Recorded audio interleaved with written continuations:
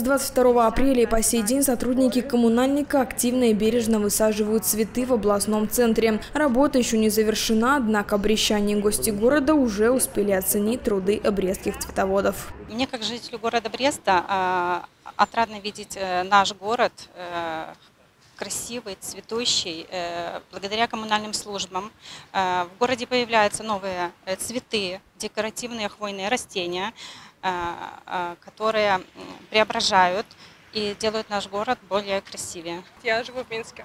В Минске? Да. Сегодня случайно приездом была в Бресте. А, очень красиво каждую весну, как озеленяют город. Коммунальные службы очень приятно смотреть, идти. Деревья зеленые, пахнет жасмин. Ну, прекрасно. Очень красиво, очень приятно прогуляться, очень красиво глазу.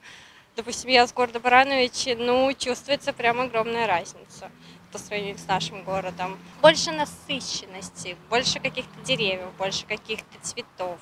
Ну, у нас такого нет, например.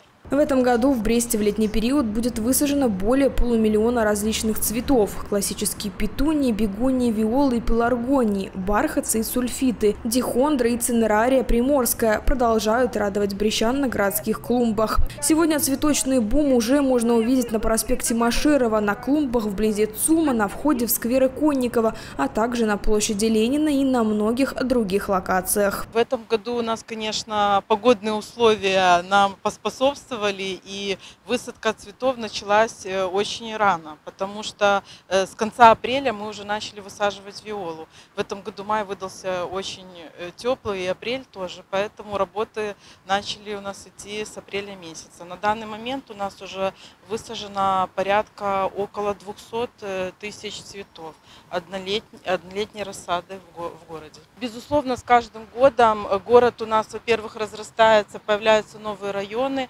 появляются новые локации, появляются новые места отдыха излюбленные горожан и гостей, конечно же, города. Конечно, хочется, чтобы город, э, как и прежде, мы удерживаем марку цветущего города Бреста, поэтому с каждым годом наращиваем, наращиваем эти обороты, при, э, привносим какие-то новинки. Вообще работа по посадке цветов нелегкая, долгая и кропотливая. Для начала нужно как следует подготовить почву, ну а после аккуратно и главное с любовью можно приступать к высадке. Работа не из легких, скажем так, потому что, сами видите, погодные условия у нас разные, и дождь, и жара. И мы все время работаем, потому что надо наводить красоту в городе Бресте. Все любят, всем нравится. Э, люди даже говорят многие спасибо за наш труд. Это очень приятно.